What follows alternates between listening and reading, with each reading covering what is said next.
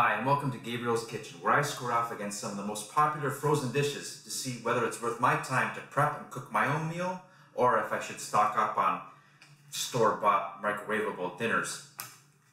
For today's challenge, we have my all-time favorite pasta dish, fettuccine alfredo. One of the lightest in the shopping list, one of the quickest to prep, but also one of the easiest to get wrong. Now it's important to mention that there are many variations of this sauce, but I'm going to stick to the original recipe, which is butter and Parmigiano Reggiano. And for the pasta, we have egg noodle fettuccine and of course a pinch of salt for the water. Now as you can see, I have freshly made pasta that I bought from the market earlier today. Most grocery stores carry fresh pasta, but if they don't, dry pasta is good too, but not recommended. Alright, let's get the water ready for the pasta. Now that the water is boiling, we can add a pinch of salt. And our pasta.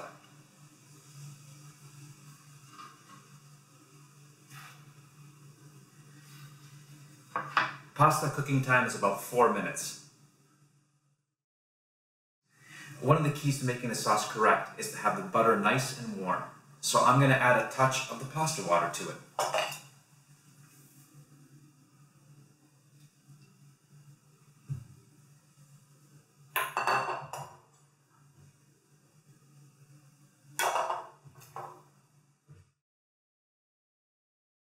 Now you may have come across different ways of how this sauce was made, like alla panna sauce, which is cream sauce. Alfredo sauce is just butter with Parmigiano Reggiano cheese and was made famous by Roman chef Alfredo Di Lelio.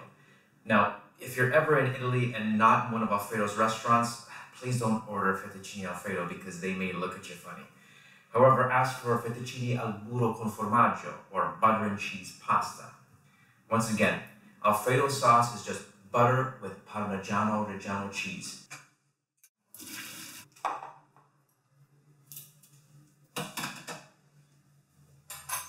Mix it up.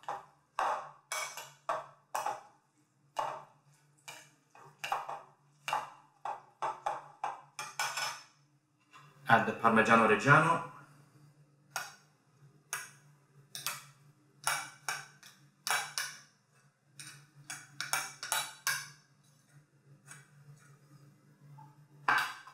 mix.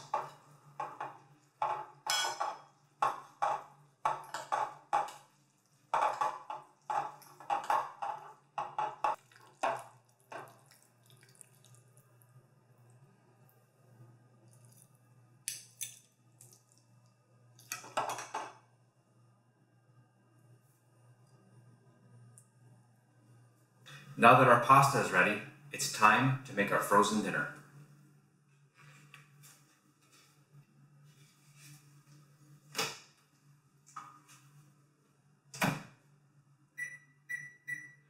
Ah, fettuccine alfrozenato. Let's start off with Mr. Frozen here.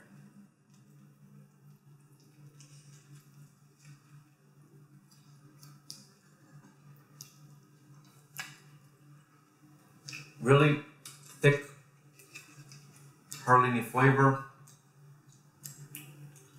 I mean, it is what it is for a frozen dinner. Noodles so dense, Let's try our homemade pasta.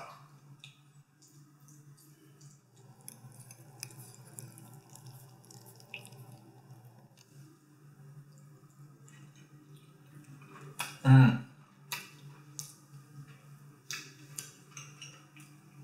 Absolutely beautiful. Cheese is great. Everything's great. Sorry, big guy.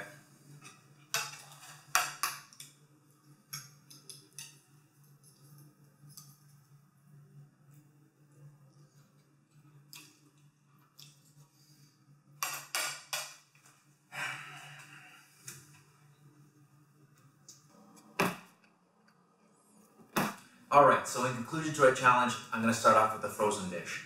Obviously, it's not going to taste as good as the homemade dish.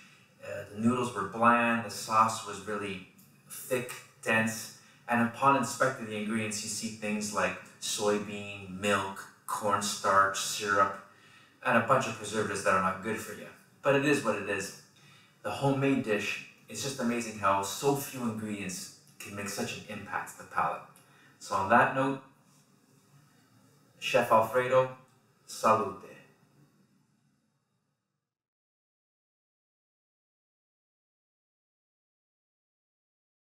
Give it a bit of a mix.